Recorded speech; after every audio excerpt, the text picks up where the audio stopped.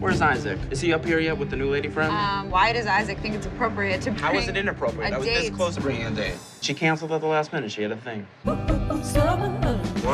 are those? That's how you say hi now? You look like a lumberjack. God forbid I get dirt on that suit of yours. I think we should have somebody with Alex at all times. No, no, no. Don't tell me that we're having a party in honor of my suicide. Attempted suicide. Alex. Jesus, Alex. If you wanted to see all of us, you could have shot us an email.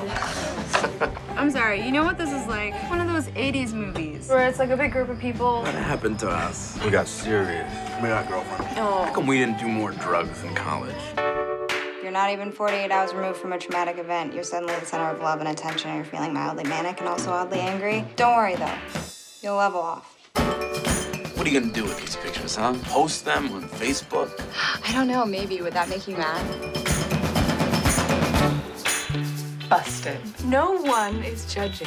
I just sleep? Fine, why? I want to make sure you weren't being attacked. There's a lot of wildlife. Oh my god. You're so in love with her. I'm not still in love with her. Yes, you are. I'm so jealous. You guys just have all these shared experiences that I'll never have. This is why I'm in therapy. What about Alex? I thought he was with you. Everybody, I thank you for your concern. Just please stop following me around. We've been dancing around the main point of this trip all weekend. Where were you? That's my point. Where were any of us? I know that it's unhealthy to need too much from people, and I've been working really hard. Hey, Will's got enough people you gotta explain yourself to, right?